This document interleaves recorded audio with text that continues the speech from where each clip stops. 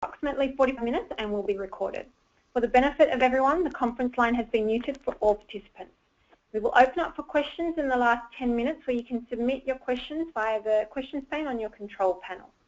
Please note, if you have any questions during the webinar, you can submit them at any time and they will be answered at the end. Dr. Tuomo Nieminen is a Professor of Internal Medicine at the University of Helsinki and Chief Physician of Internal Medicine at the Hospital District of South Karelia and Helsinki University Centre Hospital. Dr. Nieminen obtained his Doctor of Medicine at the University of Tampere in 2005 and became a certified clinical investigator within a year. By 2006, he was Assistant Professor, Senior Lecturer, Clinical Pharmacology, University of Tampere, and began his residency for internal medicine training. He has been an editorial board member of three journals and held memberships in various cardiac scientific societies. He also served as the chairman of the board in two companies operating in the nursing care business. Thank you so much for your time today, Dr. Nieminen, and I'll now hand the webinar over to you. Mm. Yeah, uh, thank you, Leanne, and uh, good afternoon, everyone. Uh, today we will talk about a T-wave alternans which is a marker to predict who will who is prone to have a sudden cardiac death in the future. So the first session we had it was about sudden cardiac death in general, and the previous time it was about these risk factors, risk markers, and now we will more specifically talk one of them, one of the most promising ones. So just as a short reminder about the, about the last time, so basically why we need more these risk mark markers is the fact that while most of the people have very low risk of having sudden cardiac death, uh, they because there are so many of these low risk people, as a total their combined risk is very high and they many of them suffer sudden cardiac death a year. And if we are talking about risk markers or stratifiers, an ideal one would be to possibly to combine several individual markers so that we could lift uh, risk from low to high for certain people and possibly also that if we think some person is high risk so that we could lower his or her individual risk to the low level. So as a very, very short beginning of the T-wave alternans, it reflects the repolarization phase of the electric cycle of the heart. And it's determined from digital ECG sometimes it's even visible to naked eye, but most typically it's it's so tiny phenomenon that one needs to have a digital ECG with software. And basically what it means, well, what alternans means is that there's a pattern which alternates between two different uh, options or two different patterns. And it's, for, it's if we have a Uh, uh, A here, A pattern and B pattern, then we have A, B, A, B, and it's evident in the ST segment and T wave of the ECG. As you as you know, as this peak peak phase of the ECG QRS complex, it's about the depolarization phase of the heart of the left ventricle to be more more specific, and then this here is about the repolarization phase when the heart returns to its uh, basic base level. And this is very essential in the light of many ventricular arrhythmias because if this is unstable, which means that it's a little bit different in different parts of the heart or it's a little bit different when the time goes on, then this predisposes to ventricular tachycardia and fibrillation. And very much is known about the mechanisms, and I will very shortly discuss those also. And what it, what it means here, and we have A, B, A, B, which might be very difficult for a naked eye, as I mentioned, but if you, if you take a look at very closely here, this B goes on a slightly above the A pattern. Basically QRS complex, it's equal, but then the, uh, these A and B patterns of the repolarization phase are a little bit different. So this here, this is alternans because it's in A, B, A, B type of pattern. But then this lower ECG here, this is not alternans because it's not A, B, A, B. This might be something else. This is A, B, C, A, B, something else. So it's not an alternating pattern. So basically, there are many different types of variability of the ST segment and T wave, but this alternans is a specific phenomenon. It has been known actually a hundred years, or known by some very few people, that there is alternans. So Professor Hering from Germany already recognized the phenomenon. And along the decades, it was known that under certain conditions, T-wave alternans can be very visible, for example, in patients with long QT interval, which is very often genetic, but also can be caused by certain drugs. And if, we, if you take a look at here, so this is the repolarization phase, ST segment and T wave. This is uh, clearly A, B, A, B type of pattern here. Uh, it is published in 75.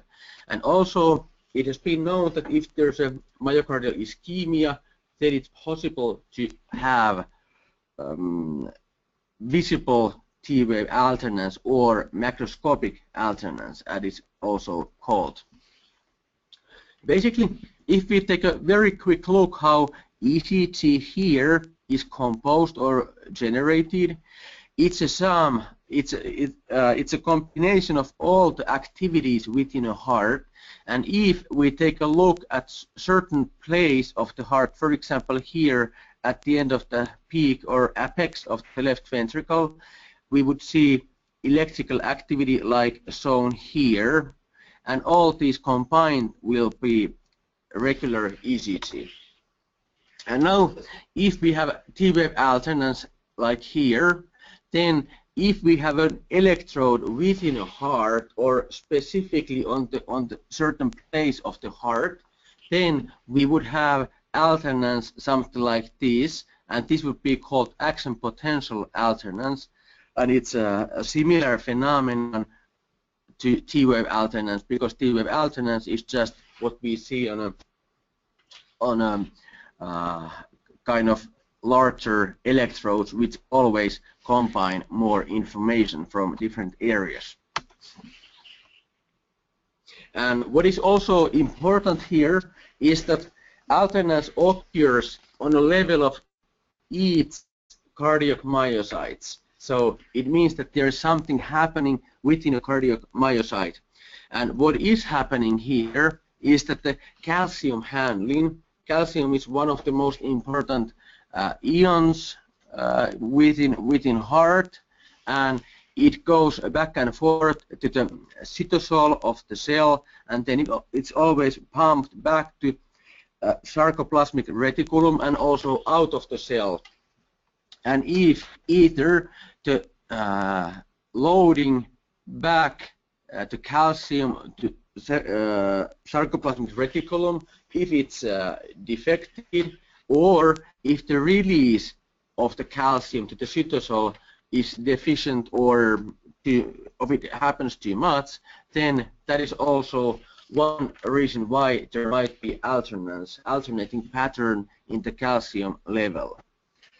And very interestingly, it is called SERCA 2A, this molecule which pumps the calcium back to the sarcoplasmic reticulum.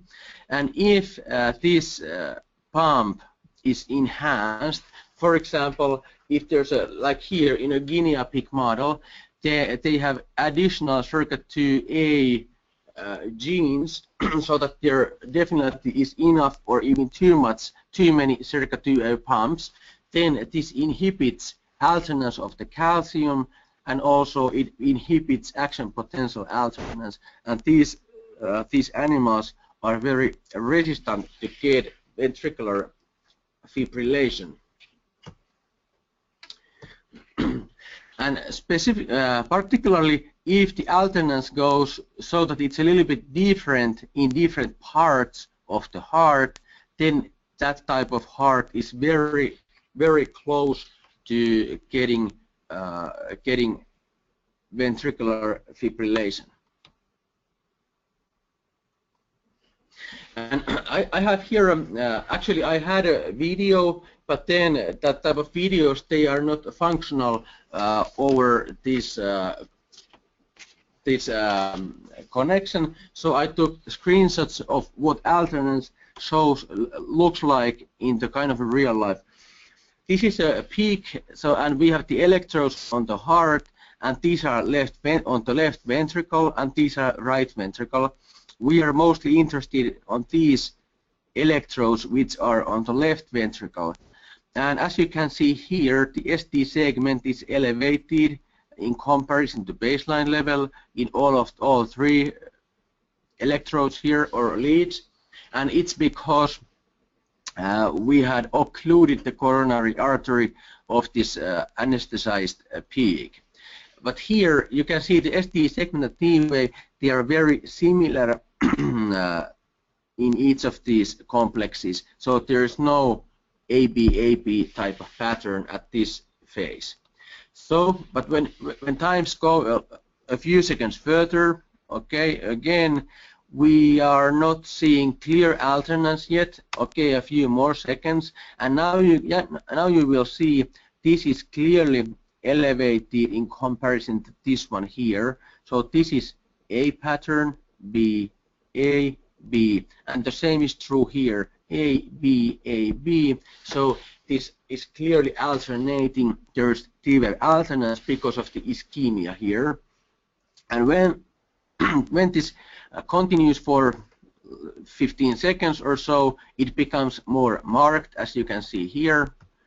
Then, at the end of this 20 second period or so, the, it goes, the heart goes to ventricular fibrillation, which is a chaotic, totally chaotic and lethal heart rhythm. As you, as you can see here, this is the ventricular fibrillation.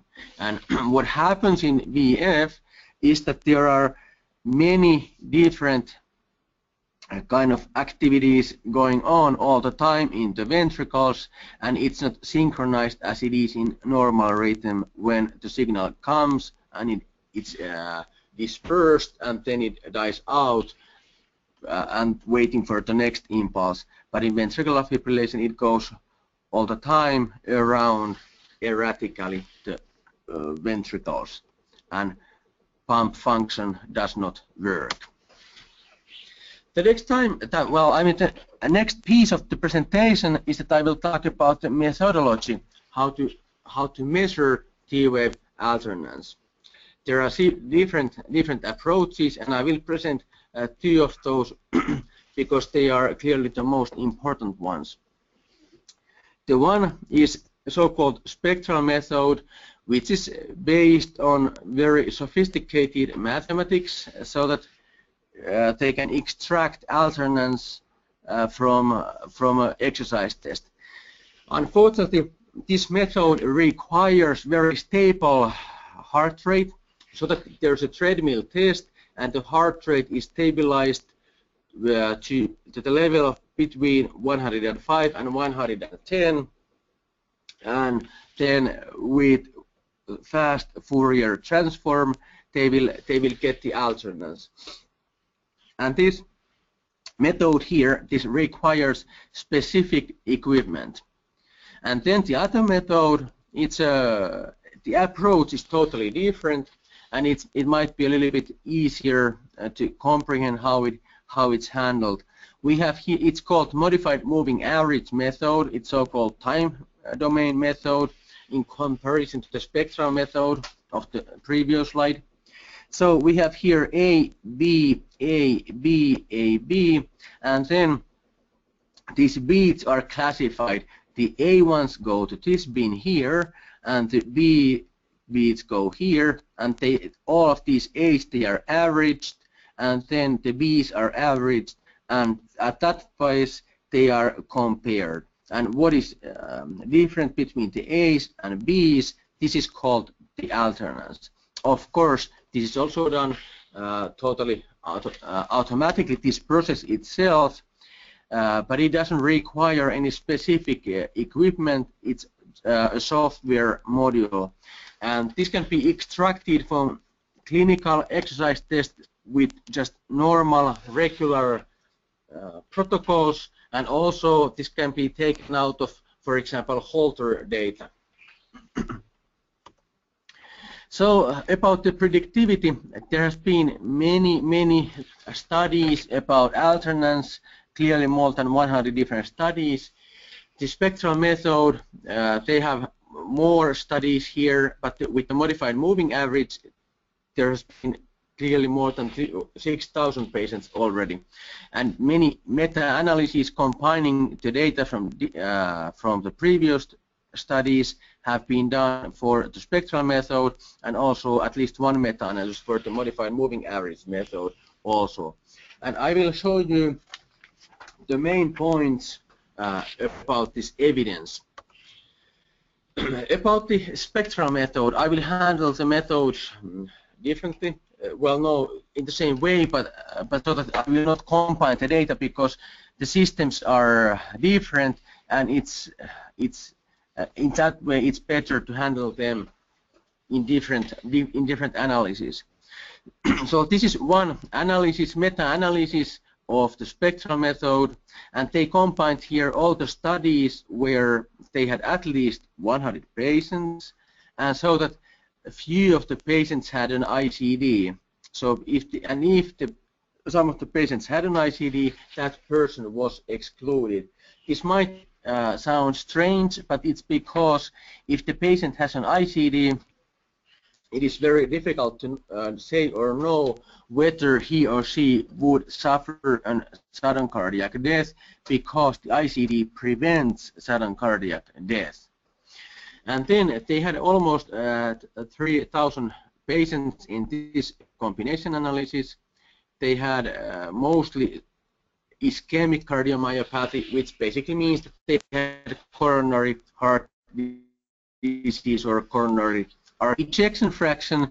It was on the average 44% and 50 is normal, so it was on the average a little bit low, but not uh, definitely not very much. So these patients were in quite good shape. so what happens in the spectral method? There uh, always they they say that the test is either negative or it's positive or it's indeterminate. So, for example, in this analysis, about 15% of the patients they had in test results and they don't give values what it means to be uh, if one is or C is clearly positive or okay but 30% were positive and with these results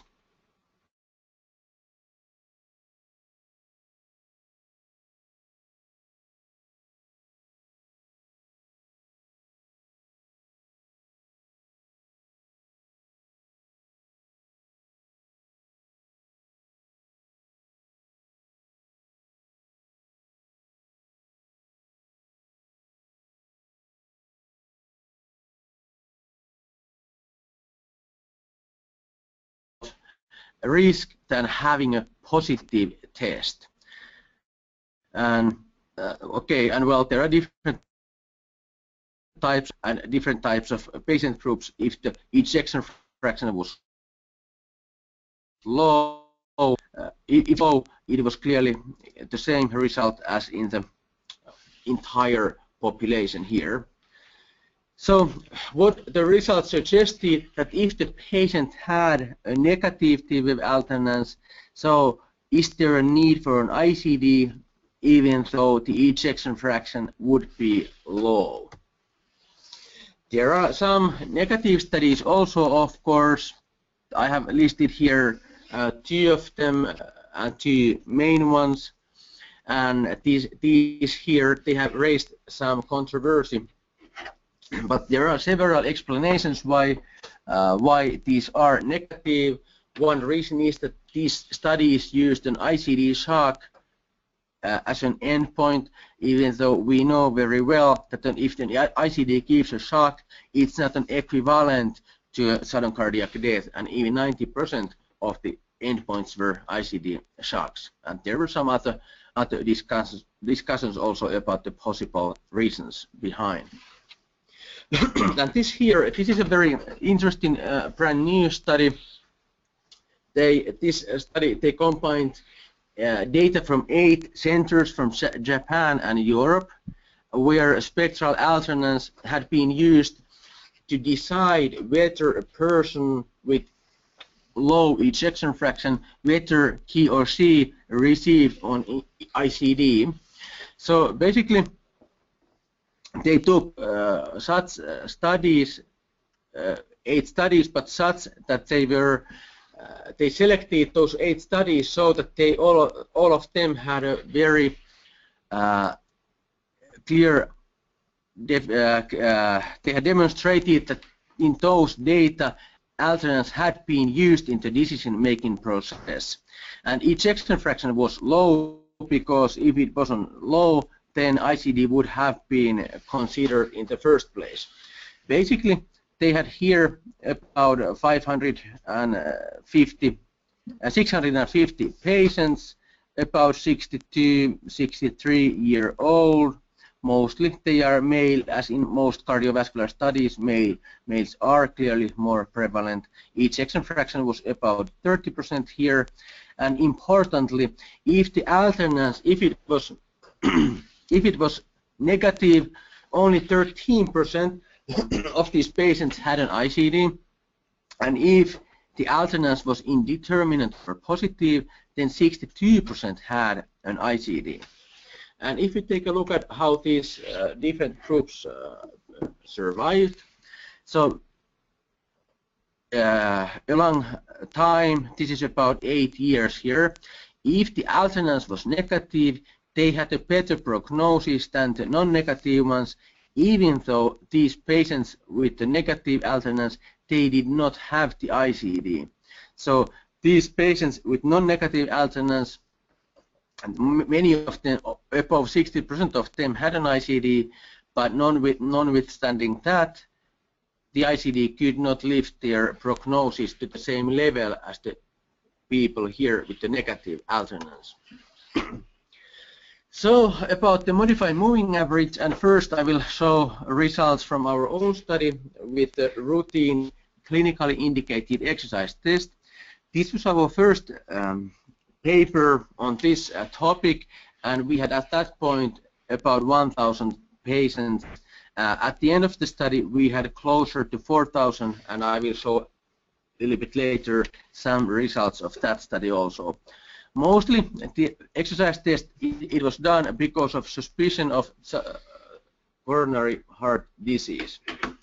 And then if the alternans, if it was abnormal, it was elevated, these patients had about five times risk of those with normal T-wave alternans in the course of a few years follow-up. and then there's a question whether small alternans is different than larger alternans. And uh, these are also based on our own studies. This here was done in collaboration with a group from Canada, uh, Calgary, and both of our studies here showed that if the alternans goes higher, the incidence or risk of death also is elevated. And this is true for cardiovascular mortality sudden cardiac death, and also the blue bars here, total mortality. And then this is our uh, latest study about about alternans. Uh, we had uh, T-wave alternans, and also we had heart rate recovery and metabolic equivalence, which I shortly talked about the previous session. And if none of these three markers was abnormal, then the patient had a very good prognosis. But the prognosis clearly went poor if one, two, or three of the markers were, uh, were abnormal. And this has been shown also in some other studies that combination of T-wave alternans with some other parameters might be beneficial. And I have an example here. This is also our own own paper that there's a patient a patient with a very uh, rapid rise in heart rate when he exercises. MET is high, even 11, and then in the recovery phase, the, beat, the heart rate goes down very quickly, which means that heart rate recovery is high, and also the patient did not have any alternans. But here, another patient had alternans, low MET, and low heart rate recovery, and this patient died died shortly after the exercise test, while this upper person did not. and then there's a uh, study about alternans, modified moving average alternans in uh, in Holter studies. And this is a Japanese study, and they had uh, 295 patients with left ventricular dysfunction, which basically means that the ejection fraction was lower. It was not as good as it should have been. And if the alternans was positive, the risk of death was clearly higher, even 16 times as high as for those without alternans. It's very dramatic result. And about the meta-analysis of the MMA method, and this is this is of the Holter results or ambulatory ECG. And there are five such studies completed so far uh, with different uh, populations and so. And the ejection fraction in it was it has been quite good actually. So these patients they haven't been very sick uh, regarding congestive heart failure. And this is the summary of the results. Basically, of course, the risk ratios, it varies from a study to another, but as a combination, it's about six times risk if a person has elevated alternans. And so something what is missing is uh, a study which would be prospective uh, and having ICD implanted uh, clearly on the basis of what the alternans level is. And now there's an ongoing such a study with this refined ICD and it's a very landmark study. Unfortunately, it will still take several years before it's completed and there are more than 100 around the world who are participating and we are also a part of this study. And it's led by Derek Exner from Calgary. And the hypothesis here is that if there's a person who has survived myocardial infarction and the ejection fraction of the left ventricle is a little bit low from 36 to 50, so it means that these patients they are not eligible to get an ICD uh, only based on ejection fraction, but also heart rate turbulence, which is a marker of parasympathetic and sympathetic activity, and also T-wave alternans. They are taken from a Holter, and if heart rate turbulence and alternans, if they both are abnormal, then uh, these patients might benefit of an ICD. So this is the hypothesis. And the aim is to get as many as uh, 1,400 people here. Basically, what is done in the study, many, a lot of patients are screened so that the ejection fraction needs to be in the specific, specified uh, interval here, and, and a Holter is done, and if both alternans and turbulence are abnormal, then the study goes on for the patient and randomly, randomly he or she is allocated either to receive ICD or to be in the control group and the follow-up will be five years. So we will, we will need to wait several more years before we know the results, but this will be a very, very extremely important study. So a few years ago, we published a, uh, guideline or international consensus document about alternans and uh, we concluded there that T-wave alternans it's a it's a risk clearly it's a risk marker and it, it reasonable to consider T-wave alternans measurements if there's a suspicion of uh, vulnerability to lethal cardiac arrhythmias, which basically means cardiac tachycardia or ventricular. But then, at the end of the day, we don't have uh, enough evidence how, about how much alternans should guide therapy. I showed one study where there's a suggestion that alternans uh, would be useful and then this refine ICD it will be a very remarkable study in this sense. So the summary, the presentation, alternans it's a parameter of heterogeneity of the cardiac repolarization which means that it's a marker of whether repolarization is stable or unstable. And this whether it's if it's unstable, then the person is prone to have a ventricular fibrillation. And this alternans as a phenomenon, it's a very uh, specific and it's a it's a clear phenomenon. But we have some technical, or let's say it's a the challenge is whether we can reliably detect alternans from the surface electrodes. There are some methods, as I presented, how it's possible to, to be done. And the productivity studies, there are many of those. They are, they are very promising, uh, and we are waiting a randomized prospective treatment trial, which is ongoing at, uh, at the moment. But then I will also need to say that such a study like a refine ICD, it's not uh, available, such studies are not available to basically any of the ECG markers. So in this sense, T-wave alternans is at the very forefront of ECG uh, research. Thank you very much. Thank you, Dr. Nieminen. I'll now open the floor up for any questions you may have.